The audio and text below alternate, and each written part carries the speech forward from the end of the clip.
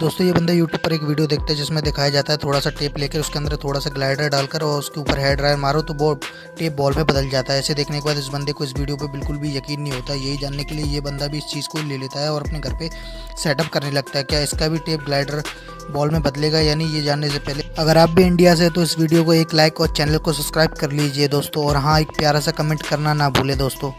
इसकी भी वैसी बॉल बन जाती है, ये ट्रिक हंड्रेड परसेंट वर्क करती है यार।